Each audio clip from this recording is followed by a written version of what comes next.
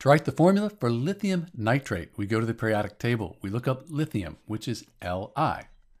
And then nitrate, we won't find that on the periodic table. This ate means it's a polyatomic ion, so you should probably have the nitrate ion memorized. It's NO3 minus. You could also look it up on a table of common polyatomic ions. So lithium, that's a metal, and then the nitrate ion, that's made up of a group of nonmetals. So we have a metal and nonmetals. This is an ionic compound, and we need to think about the ionic charge on the lithium and then the nitrate ion when we write the formula for lithium nitrate. So lithium on the periodic table, that's in group 1. It has a 1 plus ionic charge. The nitrate, we said, it's a 1 minus. So these charges need to add up to 0 to give us a net charge of 0. 1 plus, 1 minus, that adds up to 0. So we're done. This is the formula for lithium nitrate. Let's clean it up here. And that's it, lithium nitrate, LiNO3.